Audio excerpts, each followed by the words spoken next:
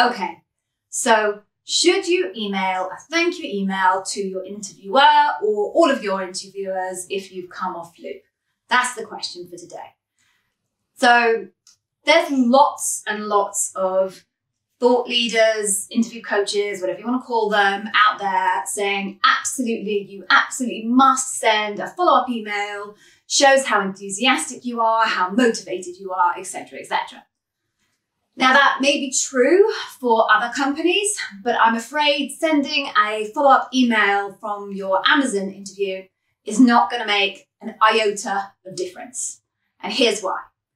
So, the decision to hire you or not hire you is going to be made entirely on the evidence gathered at your interviews. Interview one, two, loop, one, loop, what, you know, whatever, however many you have in whatever sequence.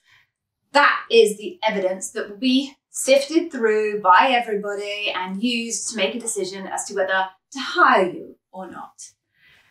Second thing is that there is actually a formal policy at Amazon that says for anyone kind of in a debrief talking about a candidate who's been through loop and the formal policy is you cannot use somebody's motivation or lack thereof as evidence to hire them or not hire them. The assumption is if you're interviewing at Amazon, it's because you want to work there. Pretty fair assumption. So the reason why they hire you is because you raise the bar on the leadership principles. That's it. The other thing to think about is Amazonians are so experienced at interviewing. One of the things that you learn over time when you do that many interviews is that you have to create some emotional distance from yourself and the candidate. You can still have a great interview, have fun, enjoy meeting someone. But what a lot of interviewers do, and I count myself among these, is I never actually wrote up my notes and made a decision on a candidate for at least 24 hours after I met them. That meant that I could really step back from my emotional response to the candidate, positive or negative, and I had plenty mix of both, but you're very kind of self disciplined in forcing yourself to step away from your emotional response to the candidate. It's a mental state, but also a vast majority of interviewers will actually take a big old whack of time to try and create that emotional distance between the time they interviewed and how they felt in that interview and writing up their notes and making a decision.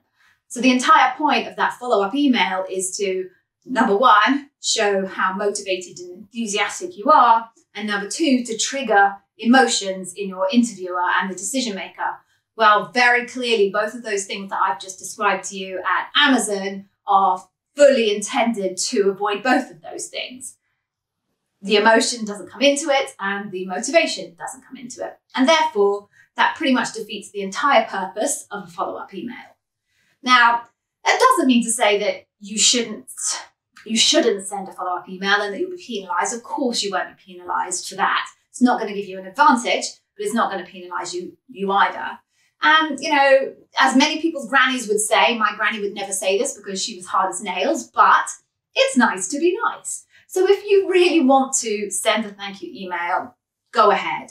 But my big advice is don't think it's going to make any difference whatsoever to the outcome because it absolutely won't. So hopefully you found that video useful. Please do subscribe. I continue to add content to my channel. Now, if you are really serious about not taking any chances with your Amazon interview, then I really recommend you just have a quick look at this video here. It'll tell you about how you can get even more comprehensive interview preparation coaching from me at a fraction of the cost that it would usually take to get the same information from another personal interview coach. So until next time, take care and I hope to see you soon.